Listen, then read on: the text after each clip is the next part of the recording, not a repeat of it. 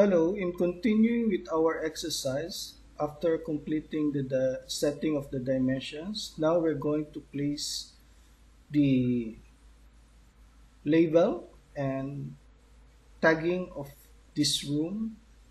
Let's now use the tool place text. Here we need to set the text style.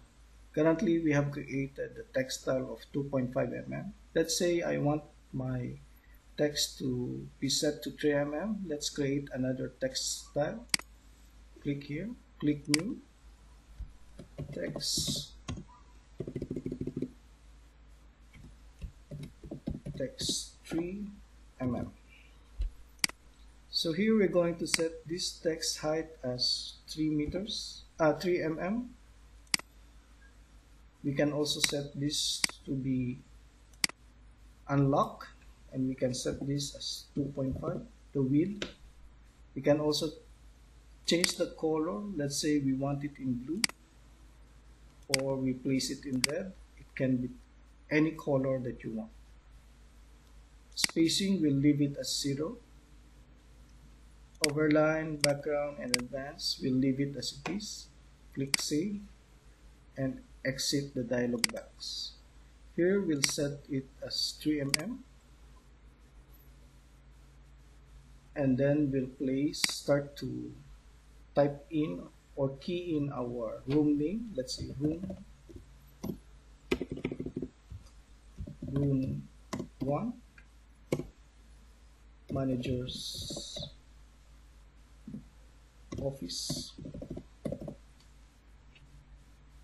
Here we can place it here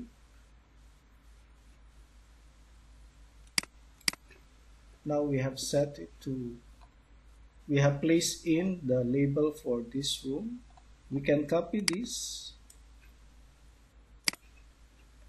and place it to the next space here and here.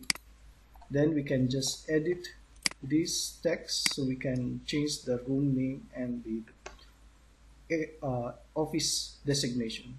Here we need to to click the edit text. Click here. Set this as room 2